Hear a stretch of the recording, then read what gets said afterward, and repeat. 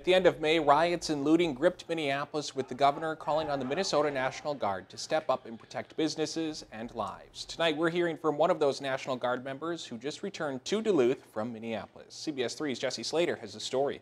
My um, platoon sergeant came into our barracks and said, pack your stuff.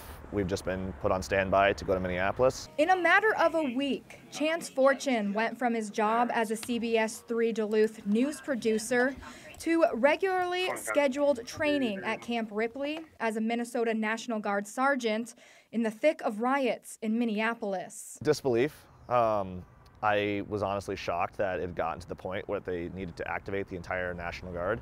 In Fortune's 10 years with the National Guard, it was only his second time being deployed on a state active duty mission. There was a lot of scrambling. Um, everybody was moving around pretty fast because there was a lot of uncertainty. Nobody really knew what was going on. When his unit arrived in Minneapolis, the sight was shocking. It didn't look like a, a city in the United States. It looked uh, something similar to a war zone. He says days of rioting and looting made parts of Minneapolis nearly unrecognizable. I saw a lot of uh, burnt buildings burned to the ground.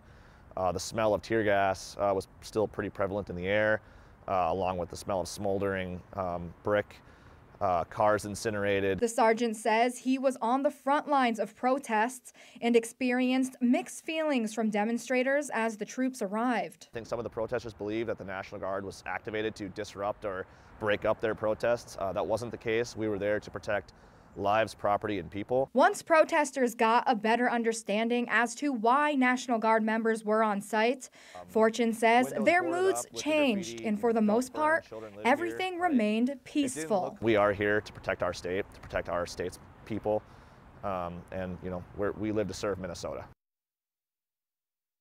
Sergeant Fortune says his unit was the first to leave Minneapolis as troops were being called back. He was there from May 30th to June 2nd. He added protests began to shift from violent to peaceful within